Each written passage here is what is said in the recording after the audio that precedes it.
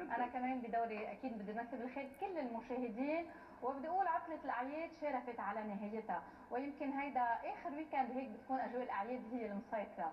بس قبل ما نرجع للشغل والجد إنه ما بيخلى الأمر ببلال هيك تكون عندنا حلقة مميزة مع ضيوف كمان مميزين حبوا بعض حبوا حالكم.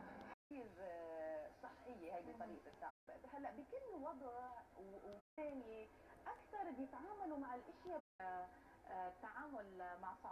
الحياة بين الرجال والمرأة. إيه إيه في طرق. ستات لا مجبورين عوارض شرقية بنحس إنه في هون عوارض جسدية بصيروا بنقوا عليه. مثلا هون في هيدي طريقة بس وجهنا مشكلة هيك خلينا نقول للمشاهدين أو ظرف صعب. شو لازم واحد يعمل حتى اللي يتخطى هالمشكلة هيدي؟ في لما بيكون في عن النصايح بدنا ننتقل